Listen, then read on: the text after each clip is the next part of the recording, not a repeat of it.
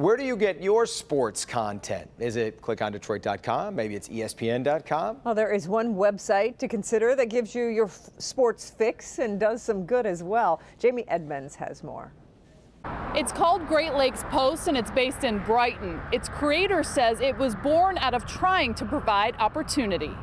I have a, um, a son with autism, and my main concern for him was the, the ability for him when he gets older to get a job, to have a career. So, with his son Brogan in mind, Kogler started Great Lakes Post three years ago, a sports website in which the content creators all have autism or special needs. And just wasn't a one-off that they can they could stay uh, with Great Lakes Post as long as they as they wanted to. Uh, their their salary. Kogler hired Casey Campbell right off the bat, and Campbell jumped in with both feet. Carson Hocevar is joining us live from iRacing Sim, the Big Ten tournament. Um, I've done the Grand Prix for a number of years.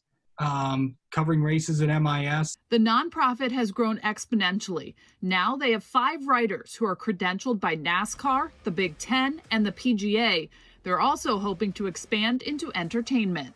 Any type of topic that an individual has passion for, we'll set up a, um, a sort of vertical or a category for them to report on. We've got uh, a writer uh, waiting in the wings that just loves Star Wars. The site relies on sponsors to keep it going and pay its people. With the pandemic, that revenue stream dried up. That's when they started a fundraising campaign.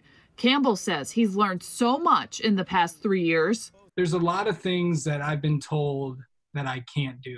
The job, he says, is all about what he can do.